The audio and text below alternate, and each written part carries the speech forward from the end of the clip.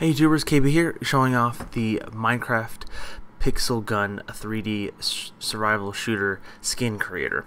I haven't really dove into this and played a lot around with it. Um, here's just a quick fast forward or time lapse of me creating a character with a really cool gold chain.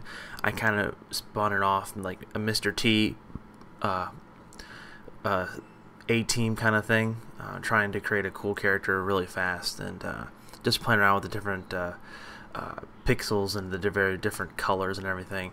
Um, basically, it's very simple. Um, you select a blank canvas, uh, you select the different arms, legs, and it's all symmetrical. So whatever you do to one, it does the other. Um, and uh, it's pretty interesting with all the different colors and the creativity that you can go along with it.